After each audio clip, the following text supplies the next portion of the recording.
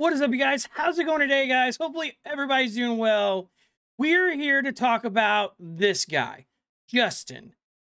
Actually, as we know, Justin had about five videos on his YouTube channel, and three of them was about the Moscow, Idaho stabbings, the brutal stabbings of four Idaho college students, as we all know of in Moscow, Idaho. And then he went on to actually talk about Chef Dizzy, which is a juggler. He rented an apartment on campus because he's a juggler. It had high vaulted ceilings. And this guy went on to show that he was a pedo. We're talking about Chef Dizzy. Yes, he absolutely did. This guy, Justin, is 100% disgusting. Anybody that can infatuate their mind and paint a fabricated story and put themselves in Dylan's position of her being the survivor of Moscow, Idaho. She's actually the one that went on to actually see the killer walk by. She went ahead and shut the door, went back to bed because they said, quote unquote, it was PTSD. That's not unheard of, guys. But this guy wanted to make it his story because he is a transsexual.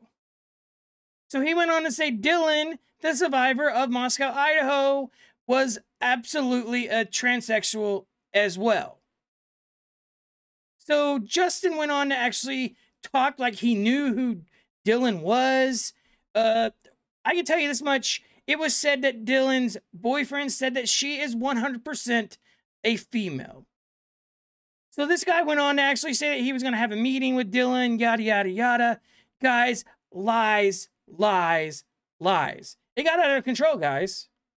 There's absolutely lawsuits out on people speaking and disrespecting the Moscow, Idaho stabbings. The case in Moscow, Idaho.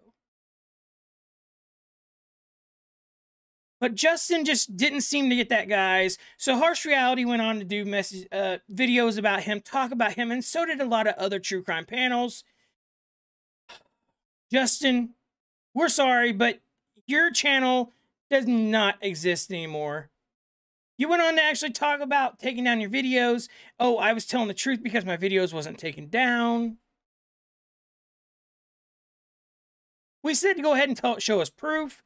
You didn't show us proof. So your videos are gone. Poof. Anyways, guys, I wanted to share that with you guys, but can we please have a moment of silence for Justin's YouTube career? All right, guys, your boy Deuce is going to get out of here. But anyways, guys, I love you guys. Your boy Deuce is out. Have a good one.